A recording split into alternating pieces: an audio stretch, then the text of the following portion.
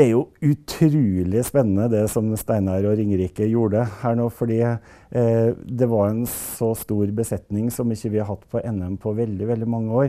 Så det å ta inn så masse flotte instrumentalister, lage ny musikk, altså skape rett og slett noe nytt for, eh, for Trekkspill-Norge, det, det, var veldig flott å høre på. Og Steinar er jo en, eh, en mester i det å både komponere og instrumentere og lage spennende musikk å høre på.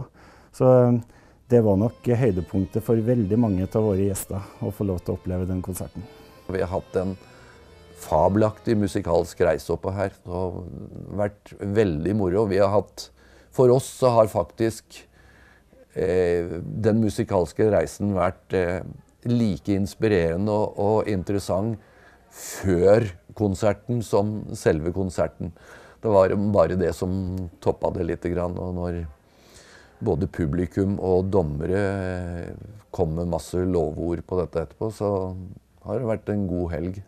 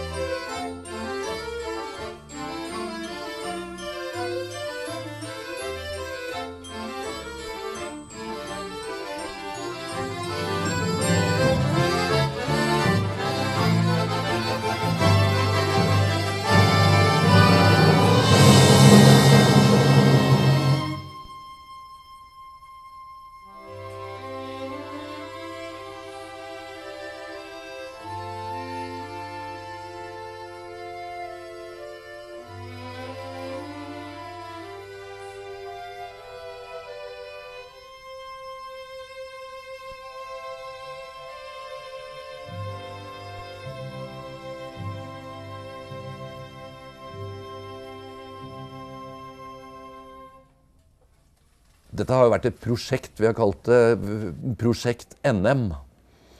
Og eh, ettersom jeg var ute etter et klangbilde som, som ga en orkesters eh, fylde i, i, lydbildet, både i forhold til eh, instrumenter og ikke minst størrelse, så måtte jo jeg ut på markedet og, og få tak i flere musikere.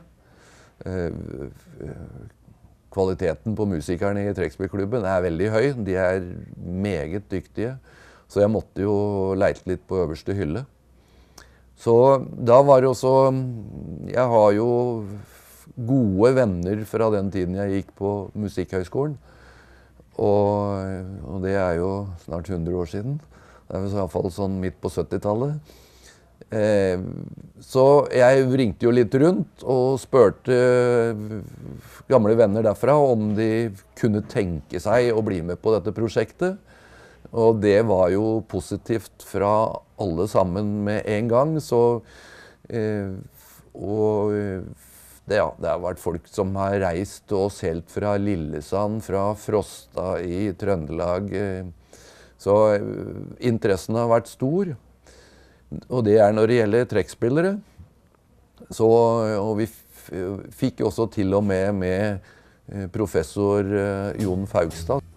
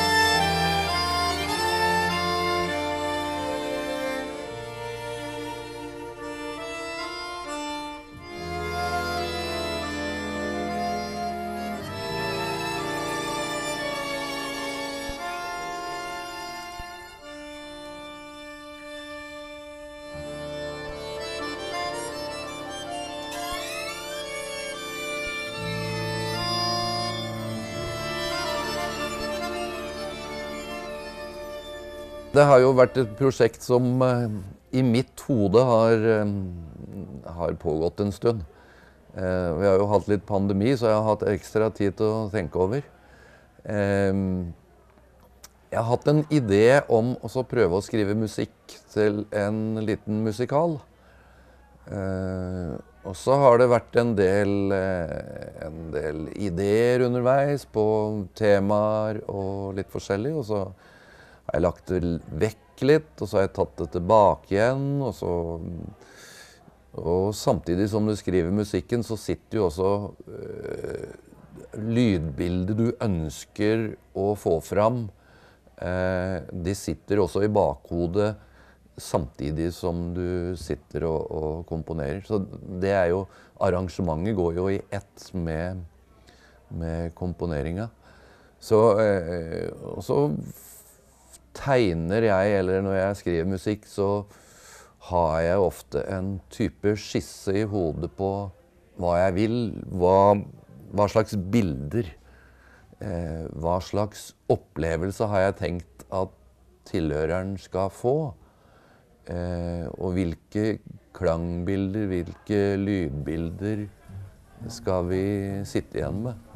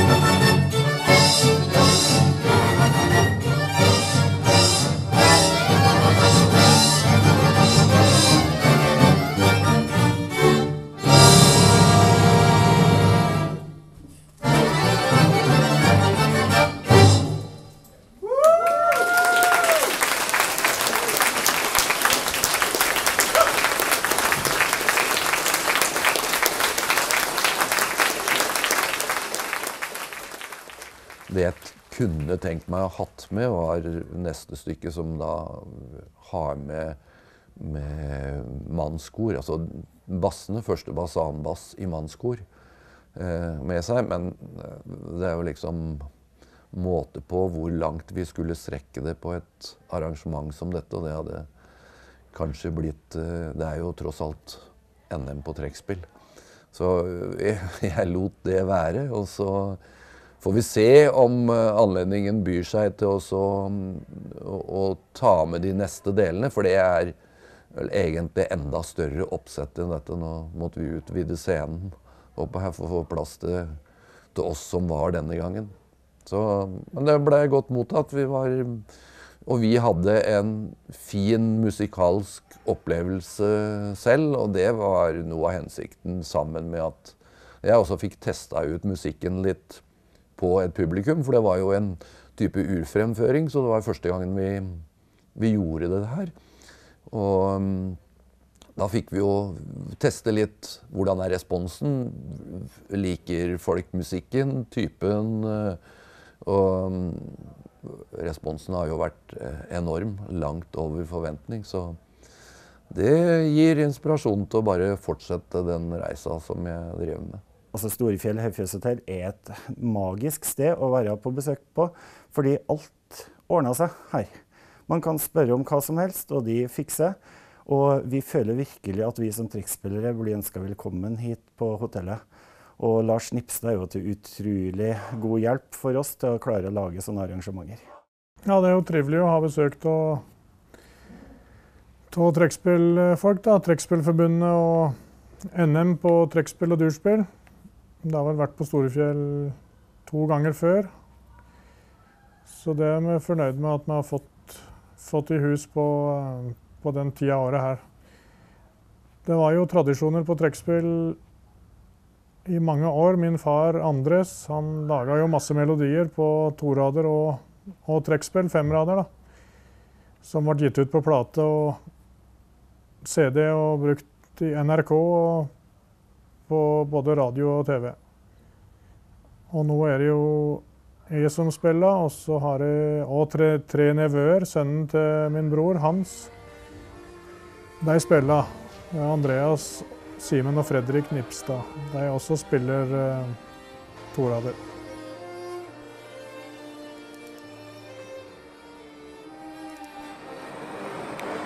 Og da er det hjem igjen.